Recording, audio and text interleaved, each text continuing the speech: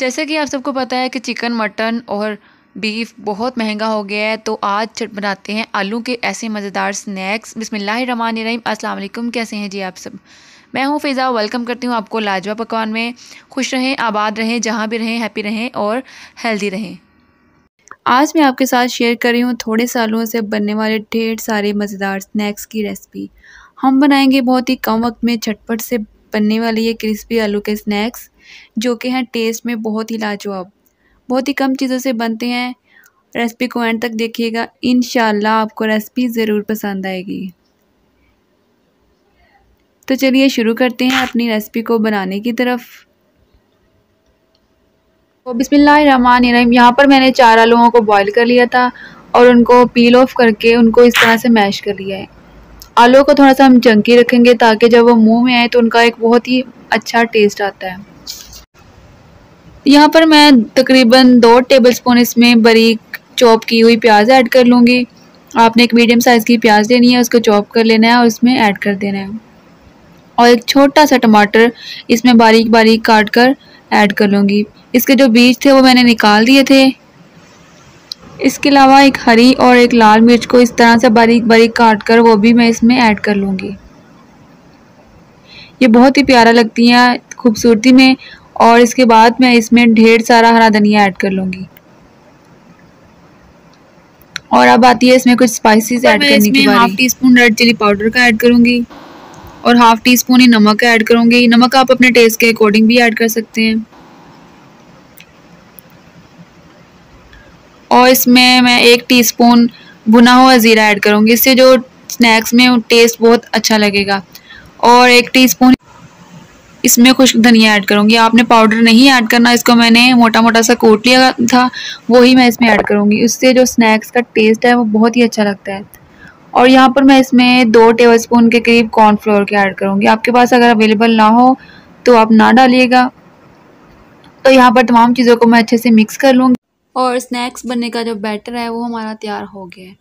और हम बनाएँगे इसके मज़ेदार से डोनट्स मैंने हाथों को ऑयल से अच्छे से ग्रीस कर लिया है ताकि बैटर हाथ पर ना चिपके। आपने आलू का मिक्सर लेना है बिल्कुल कोफ्ते के साइज़ का और इसको बिल्कुल इवन कर लेना है। इसमें कोई भी क्रैक ना हो। अब आपने लेनी है कोई सी भी राउंड पेंसिल और इसकी मदद से आपने इसके दरमियान में होल बना लेना है। इससे जो स्नैक्स हैं वो बहुत ही क्रिस्पी होंगे और बहुत ही अच्छे से फ्राई होंगे।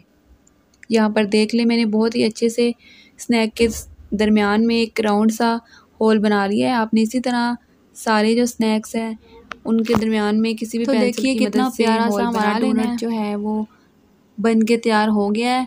एक और मैं आपको थोड़ा जूम करके दिखा देती हूँ कि आपने मिक्सर कितना लेना है। आपने बिल्कुल जिस तरह हम कोफ्ते का साइज़ रखते हैं उतना आपने मिक्सर लेना है आलूओं का। और इसको हाथों की मदद से राउंड कर लेना है।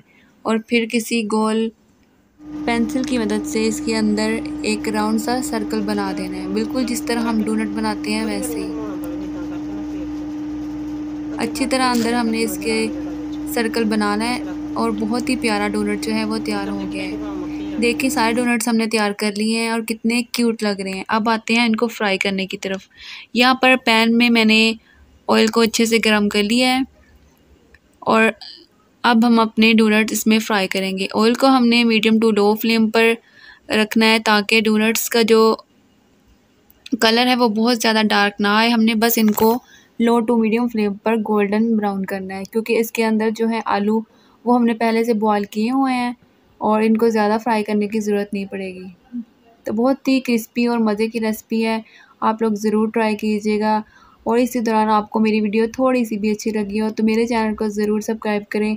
साथ लगे बेल के आइकन को प्रेस कर दें ताकि मेरी आने वाली हर नई वीडियो का नोटिफिकेशन आप तक पहुँच सके। तो अच्छे से हमने एक साइड को अच्छे से फ्राई करना है और अब इनकी साइड को चेंज करते हैं ताकि दूसरी तरफ़ से भी इसका कलर हम गोल्डन ब्राउन लेकर आ सकें। तकरीबन तीन से चार मिनट लगेंगे इसको फ्राई होने में। आप लोग इस रेसिपी को ज़रूर ट्राई कीजिएगा। शाम की चाय के साथ बना लें, या फिर अगर आपके घर कोई मेहमान आए हो तो उनको ये क्रिस्पी से टेस्टी से डोनट्स के स्नैक्स बना के दें। उनको बहुत ही मज़े के लगेंगे और वो आपसे इसकी रेसिपी ज़रूर पूछ के जाएँगे। तो इसी तरह से सारे स्नैक्स को हम अब सेपरेट प्लेट पे निकाल लेंगे। अच्छे से हमने इनका ऑयल जो है वो निकाल लेना है। आप किसी टिश्यू पेपर पे इनको रख लें ताकि जो टिश्यू है वो सारे ऑयल को अब्ज़ॉर्ब कर ले। तो देखिए, माशाल्लाह, अल्हम्दुलिल्लाह, बहुत ही मज़ेदार और बहुत ही कम वक्त में छटपट बनने वाले क्रिस्पी आलू के स्नैक्स रेडी हैं। इसको कैचअप के साथ मज़े ले लेके खाएँ, अपने घर वालों को दें। मिलते हैं अगली वीडियो तक, अपना बहुत सारा ख्याल रखिएगा। मुझे भी अपनी दुआ में याद रखिएगा, तब तक के लिए अल्लाह हाफिज़।